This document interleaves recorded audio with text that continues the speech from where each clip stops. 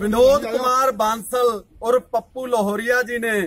ਅੱਜ ਆਪਣਾ happy birthday municipal park Kotpura ਵਿਖੇ ਇਸ ਢੰਗ ਨਾਲ ਮਨਾਇਆ ਕਿ ਉਸ ਹੈਪੀ ਬਰਥਡੇ ਵਾਲੀ ਕੀਤੀ ਗਈ ਪਾਰਟੀ ਦੀ ਗੂੰਜ ਦੁਨੀਆ ਦੇ ਕੋਨੇ-ਕੋਨੇ ਤੱਕ ਪਹੁੰਚੀ ਕਿਉਂ ਸੋਸ਼ਲ ਮੀਡੀਆ ਰਾਹੀਂ ਇਹਨੂੰ ਕੈਨੇਡਾ ਅਮਰੀਕਾ ਆਸਟ੍ਰੇਲੀਆ ਨਿਊਜ਼ੀਲੈਂਡ ਅਤੇ ਲੰਡਨ ਤੋਂ